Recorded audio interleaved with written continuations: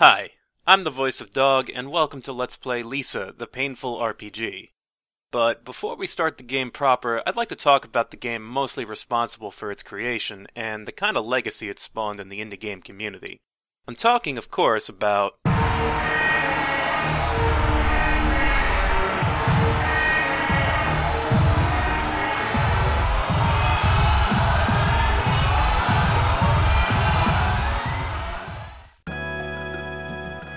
Earthbound was one of my favorite games growing up.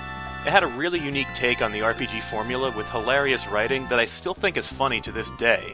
But most notably, it had this overall sense of weird that is just really hard to describe. And I think that strangeness is what people remember the most. If you know anything about the indie game or RPG maker community, you might have noticed some games that clearly draw inspiration from Earthbound. This is to be expected, really. Earthbound came out in 1994. Lots of gamers and would be developers grew up with it, and they've been inspired by it since then.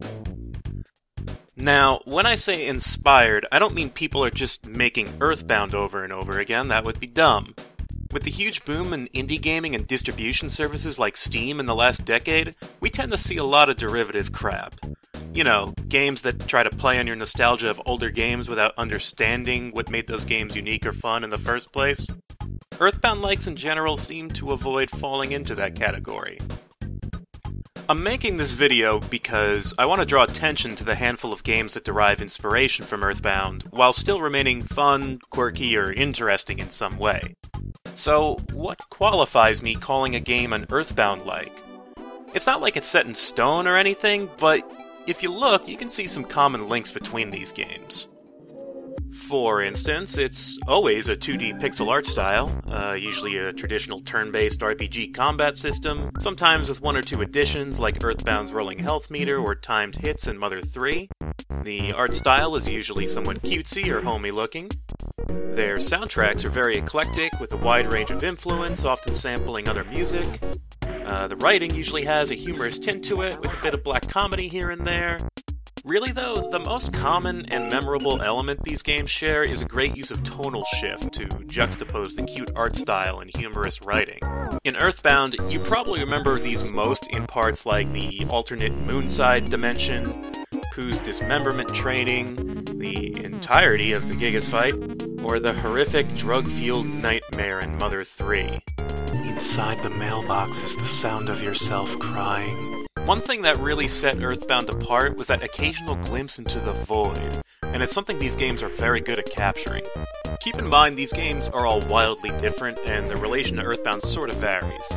And since people love assigning meaningless numbers to things, I'll bookend each of these with my patented Earthbound like rating system that I made up just now. It's a 1 to 5 scale that rates the battle system and gameplay experience, approximate level of quirkiness, pixel sophistication ratio, extent to which the jams have been kicked out, and some other thing it's not important. So let's start with.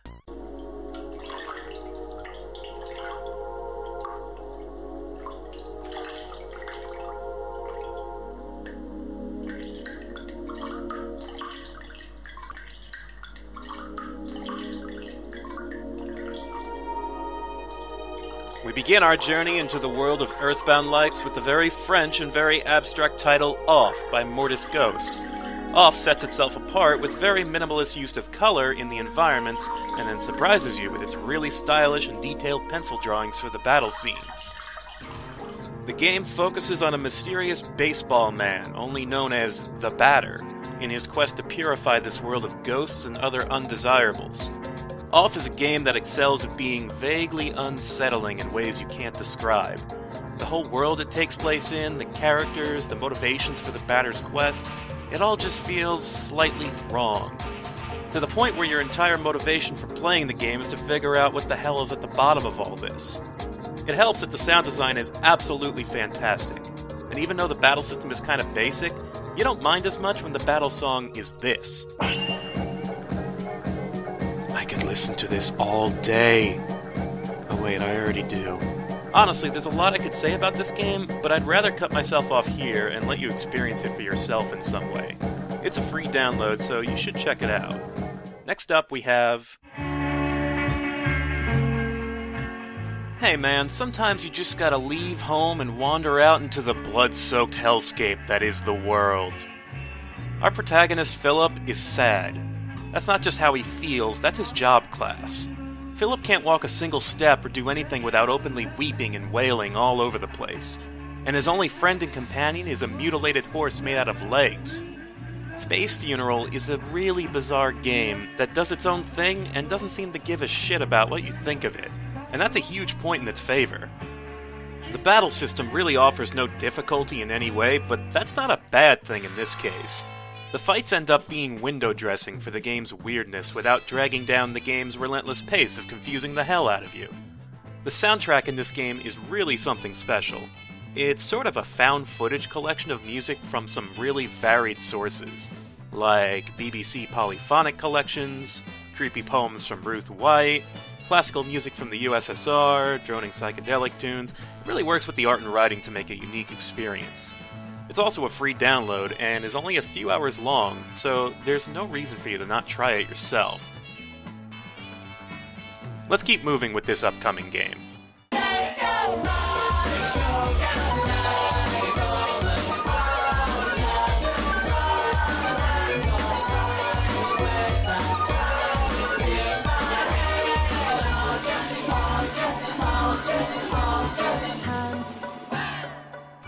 I don't remember exactly where I first heard about this game, but the trailer really caught my eye.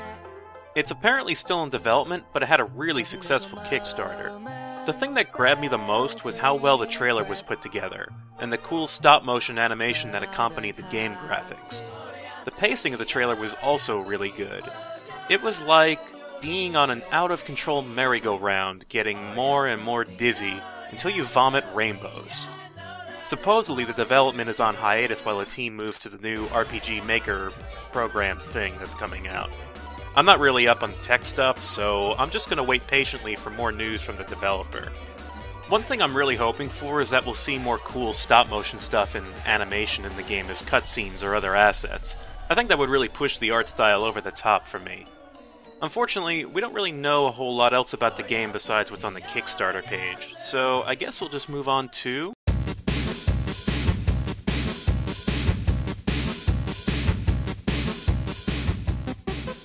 As of this video, Undertale has recently come out. I had to redo this portion because I was mainly talking about the demo, but it deserves a rewrite. It's hard to encapsulate all the things I like about this game in a short segment, so I'll try and make this quick.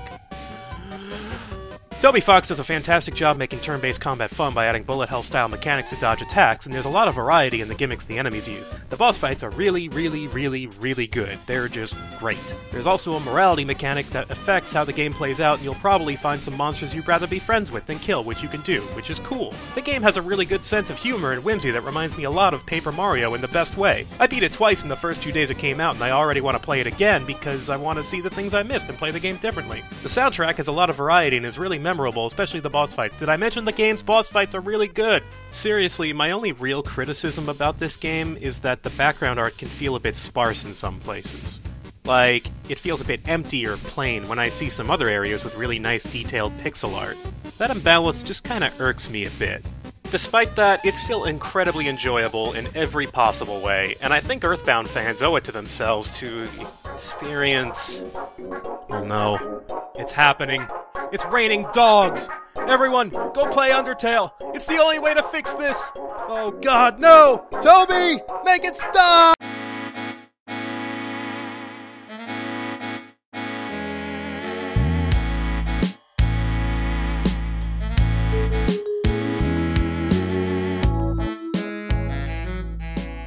I am really looking forward to this game.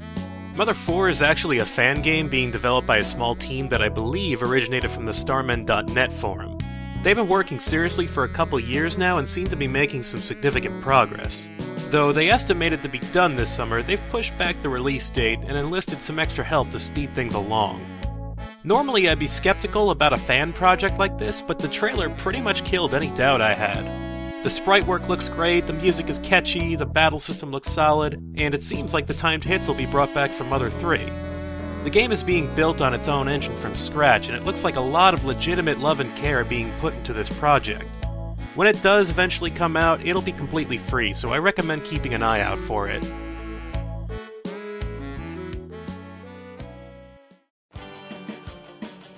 I also wanted to briefly mention a couple games that don't really fit in with the formula I outlined earlier for Earthbound likes.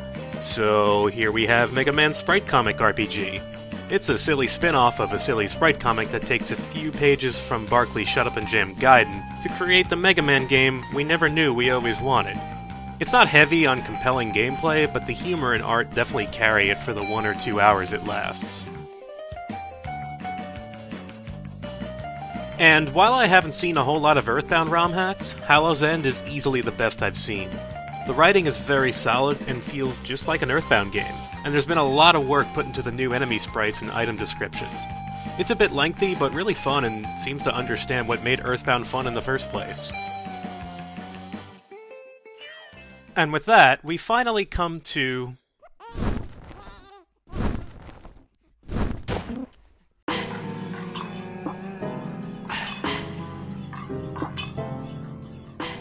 Lisa, hidden subtitle The Painful RPG by Austin Jorgensen, aka Dingaling, aka Widley Too Diddly, aka absurdly handsome martial arts god Austin, please find me an OK Cupid, okay, I love you, bye bye. Austin has made it no secret that Earthbound was one of the primary inspirations for Lisa, and that much is obvious from its art style and traditional looking RPG combat.